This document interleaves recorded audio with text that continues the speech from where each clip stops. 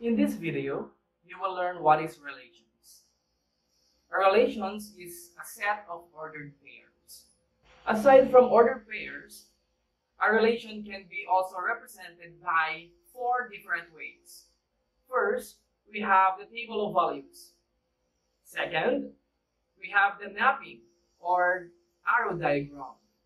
Third, we can also be represented by a graph. And fourth, can be represented by a rule. A set of ordered pairs is composed of x-coordinate and y-coordinate. The x-coordinate is also known as the abscissa, and the y-coordinate is also known as the ordinate. Let's say we have the following ordered pairs. We have 0, 6, 1, 5, 2, 4, 3, 3, 4, 2, 5, 1, 6, 0. We know that the first point is also called the abscissa or the x coordinate. And the second is the y coordinate or the ordinate. Now, let us name it using our first, the table of values.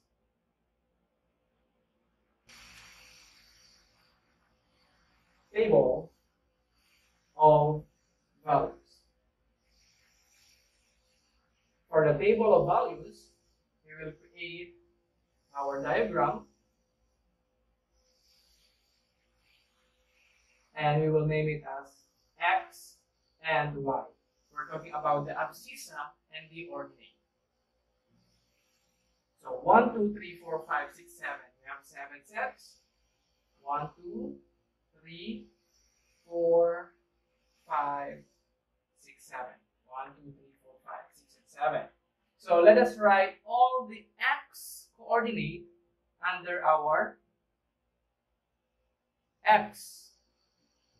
So our x are 0, 1, 2, 3, 3, 4, 5, and 6. And now our ordinate. So we have 6, 5, 4, 3, 2, 1, and 0. This is what we call the table of values. The other way is the mapping or arrow diagram.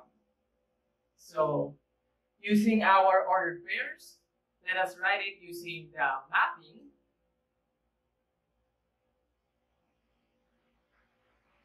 or arrow diagram. So in this case, we have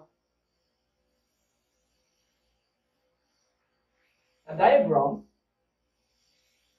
which is on the left side, we can call it as our x coordinate and our y are the y coordinates. Take note, our abscissa is also known as our domains or the value of the x. And y, I will write here domain, and y coordinate will be our range. Now let us write all our abscissa or our domain. So 0, 1, 2, 3, 4, 5, and 6. And of course, our range,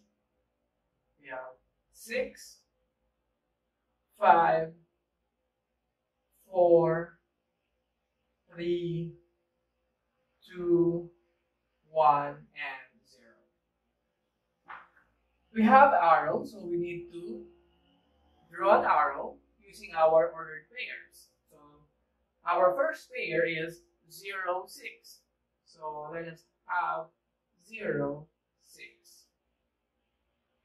Second, 1, 5. 1 going to 5. Next, 2, 4. So 2 going to 4. 3, 3. 3 going to 3. 4.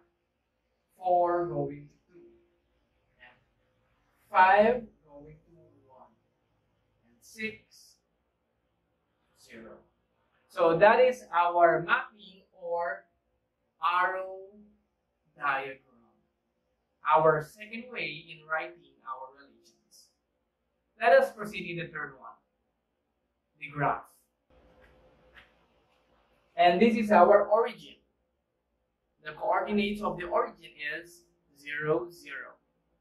That means on the right side of our vertical line, we have the positive 1, 2, 3, 4, 5, 6. And upward, we have also the positive numbers 1, 2, 3, 4, 5, 6. On the lower part, we have negative numbers, negative 1, negative 2, negative 3, and so on.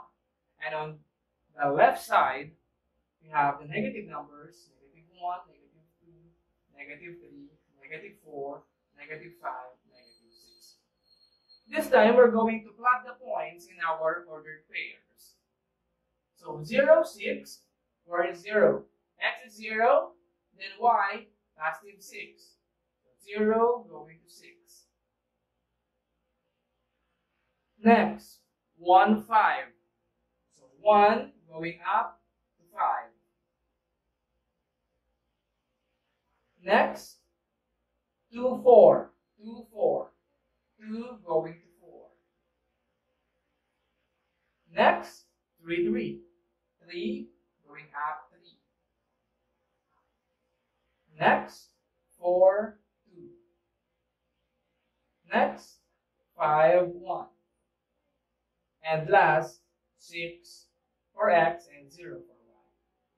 So this is now our plotted ordered pair. So we plot it in our rectangular coordinate system. Then we can connect the dots or the points. This is now our graph. And that is a linear function. So this is on how to plot the different points using our graph. And that can also be represented as our relation. Now let us proceed to the last one. We have the rule.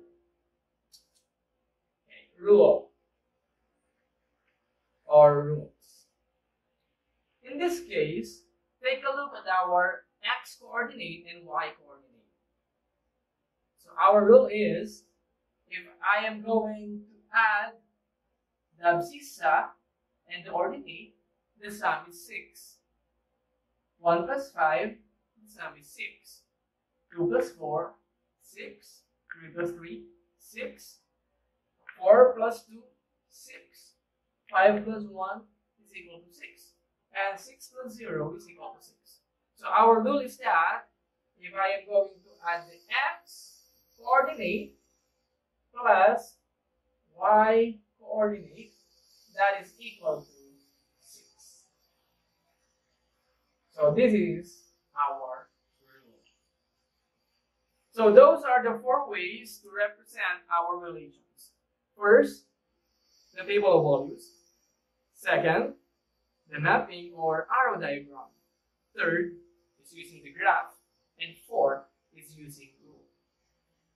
So thank you for watching Señor Pablo TV. That is the relation.